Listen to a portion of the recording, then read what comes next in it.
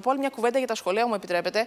Έχουμε λοιπόν καινοτομίες όπως το Λοήμερο, όπως είπαμε, ε, οι νέοι διορισμοί, οι όμιλοι, εκπαιδευτικοί όμιλοι για πρώτη φορά στα σχολεία, κάτι που εφαρμοζόταν μόνο στα πρότυπα και πειραματικά σχολεία. Πλέον προσφέρονται προαιρετικά όμιλοι για ρομποτική, για ρητορική, για, για αθλήματα ομαδικά και το καθεξής, στα παιδιά μέσω των δημοσίων σχολείων. Ψηφιακά εργαλεία. Ρομποτική, τη φετινή, ξέρεις. ρομποτική, τη φετινή σχολική χρονιά θα αρχίσουν να εγκαθίστανται διαδραστικοί πίνακες στα σχολεία της χώρας μας μέσω Ταμείου Ανάκαμψης. Ένα κονδύλι που αγγίζει τα 150 εκατομμύρια ευρώ.